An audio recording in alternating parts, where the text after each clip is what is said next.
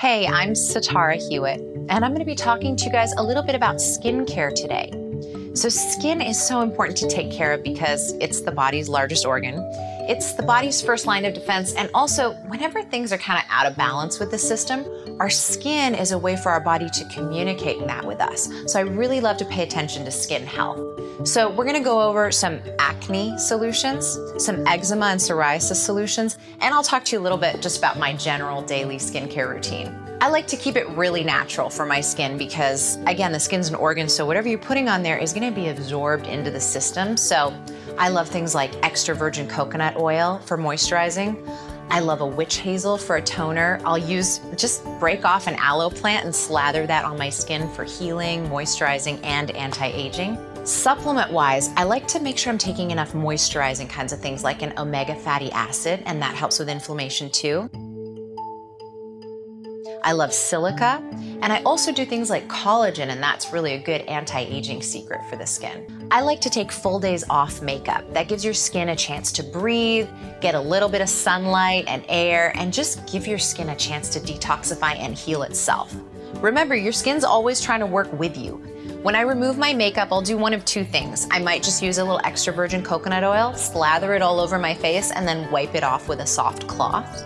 I also use natural soaps like a charcoal based or a chaga based, just if I really want to get in there and clean it.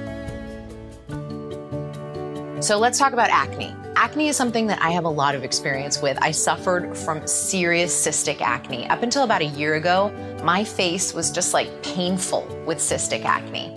But I fixed it all naturally. I didn't use any pharmaceuticals. So often when you have acne, it's your body telling you that there's a lot of toxins building up in the colon area. They're not being eliminated enough. There might be too much processed foods or chemical laden foods that are kind of sitting in the colon and your body's trying to get rid of them through the skin. I started with a colon cleanse, just some herbs that help to eliminate wastes, help the organs process some of those toxins, and really get things moving. You get a flatter tummy too, which is kind of nice. As soon as I did the colon cleanse, my skin started to clear up. Now, topically, I love raw organic apple cider vinegar. It's like amazing. You just put it on a pimple and it zaps it completely.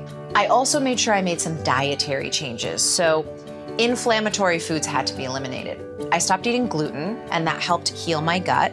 I eliminated chemicals and things like processed sugars.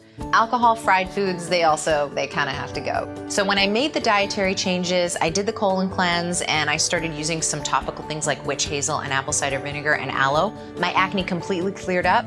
And the good thing is with those lifestyle changes, the acne doesn't come back, as you can see.